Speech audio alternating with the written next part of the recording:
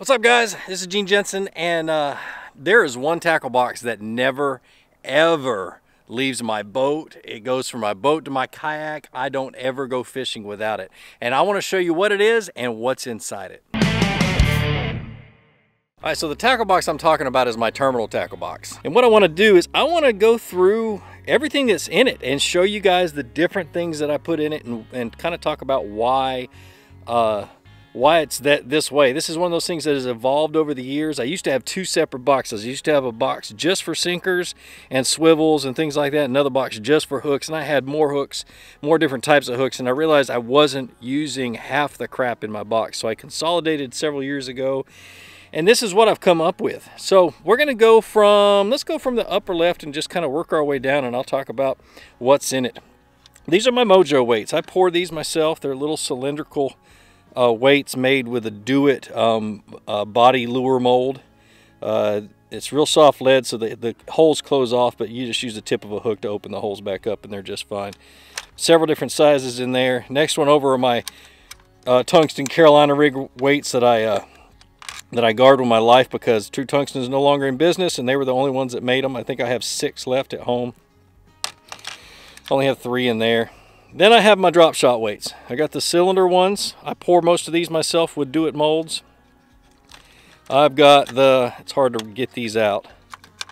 I got the Bell Sinker drop shot molds or hook or weights, sorry. And then I got a round one in there that I don't really use. I don't like those, but going on down, I got all my tungsten. Now you see how I got them marked?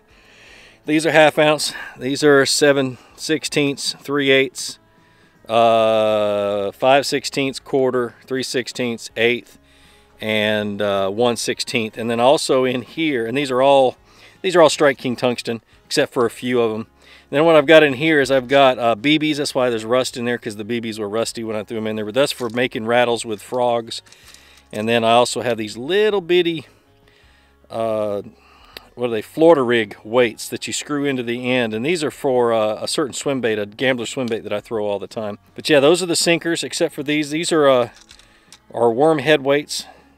So when you're using the, uh, oh, one of those Japanese rigs I made a video of, and I can't think of the name right now. But anyway, when you need anything, when you need to put lead or uh, weight in the front, in the head of a hook, uh, that's what I use. And then I also have some uh, nail weights down in there. Then uh, here I've got some uh, some uh, water gremlin uh, pinch on bullet weights for uh, real quick like grass uh, mojo weight type deal. only if I really, you know, if, I, if I'm lazy and I don't want to retie and totally tie on a mojo rig, I'll pinch those on real quick. These are all my swivels, both snap swivels and regular swivels, the ones I, um, or no, these are swivels and, and split rings. These are the high dollar Spro swivels that I use sometimes for inline spinners and things like that. And then uh, split rings if I need to change out split rings and treble hooks. These are all my hitchhikers, my duo locks uh, for various things. I use hitchhikers to uh, to change the action of flukes a lot and, and uh, keep baits on hooks. Then my swivels for my Carolina rigs and for my uh, uh, double fluke rigs and my flukes. Beads for Carolina rigs, Carolina keepers. then I get into my hooks.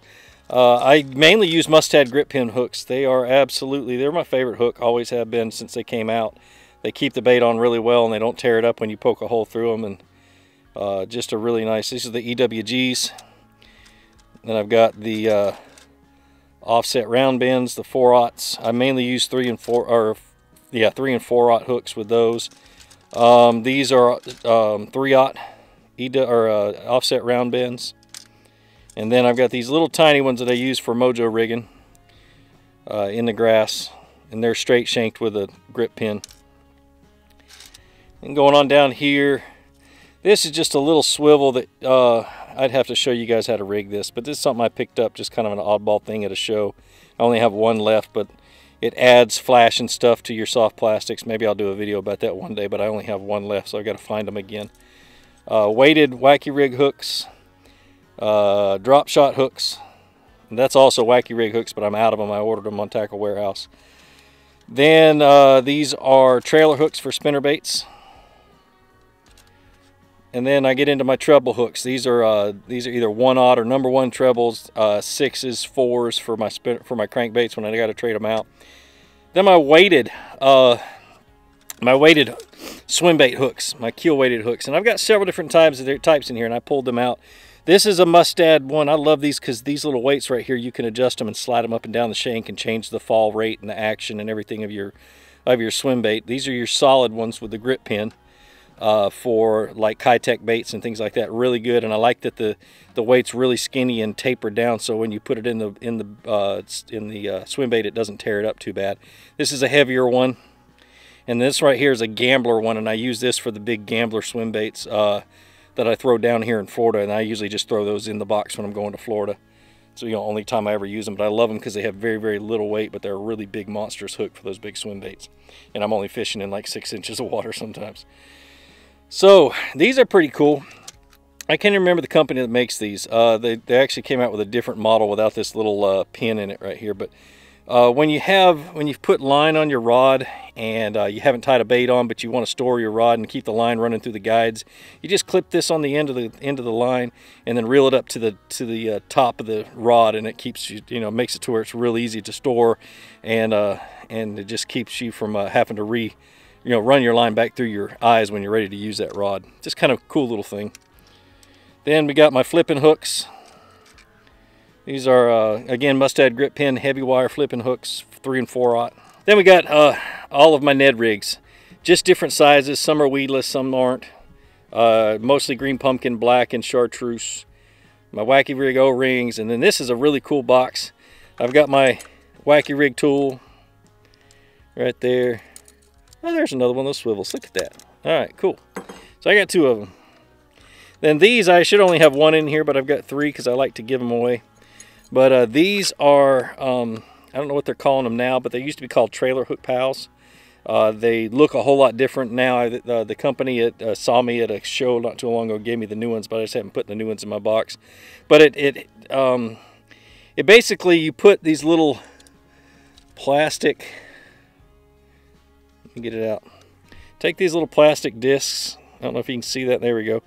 And uh, fit right down in that little hole and then you use it to as a trailer hook keeper on your spinner baits. You just run it over top of it. Just This tool keeps you from uh, poking your finger with the, with the hook when you put those on. Other things in here, punch stops, uh, wire clippers with a little bitty hook sharpener on there, which is just a good uh, hook sharpener. Uh, peg it, pegging sticks, an extra tail for a, uh, for a Spro rat. And, uh, oh, there's a wacky hook. See, finding all kinds of stuff when I go through here.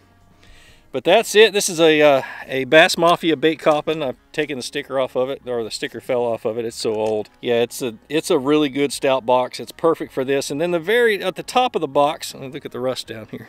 And you can tell where I have lead.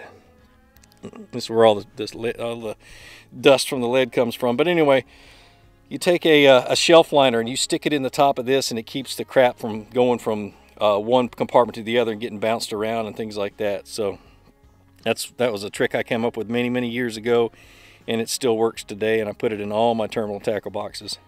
Just about any box where I don't want the stuff to go from one side to the other. That is my uh, my terminal box. It is uh, like I said, it's something I don't leave home without. And when you guys are organizing your terminal tackle box, when you're doing like uh, doing something like that, take um, in account of what you've used over the last year and what you haven't used. And if you haven't used anything in, in, a, in a whole year in those boxes, take them out. Make room for something to, that you're going to use or something that you want to try out.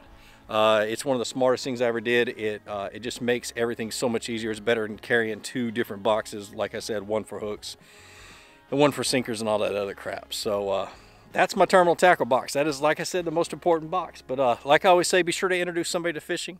Introduce them to my channel. Let me help you teach them how to fish. More importantly, get out of the water, go out and catch some fish, and have a great day.